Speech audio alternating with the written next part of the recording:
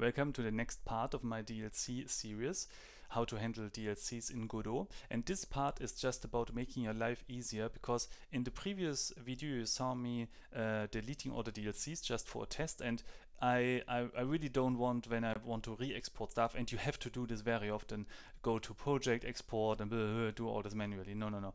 We want to make a one-click solution like this one here. I just click this batch file and then the export is happening automatically. You can find this batch file here in the um, uh, uh, in the download on the GitHub, so you don't have to write it yourself. And this video is just a little uh, overview about this batch file because it's very not, not so not so scary actually.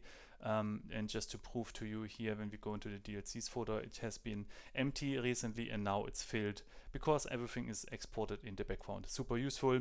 Um, uh, and not time consuming at all. And the batch file is actually quite easy. So here you just have the, the, the Godot installation uh, directory, then you define some paths where your project is and where you want to export it, and then the name of your, your exe file and then here is some DLC stuff.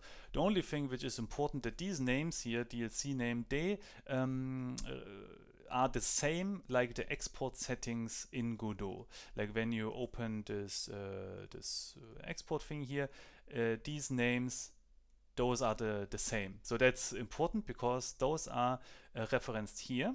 And these are the actual commands for, uh, for exporting. The first one just exports the normal game. Um, yeah, export release Windows and then and the name the next ones only export the data packs and here is the DLC name. This is the variable there in, in the batch files they are referenced with these uh, percent percentage signs. So this is the only important thing. Uh, and apart from that, super easy. You can uh, set it up your yourself after downloading for your needs, and then just one click and you just re-export your project, which is very very useful because you have to export often to test and see how stuff works because, and this will be covered in um, one of the next videos, uh, the editor and the exported version, they react very differently.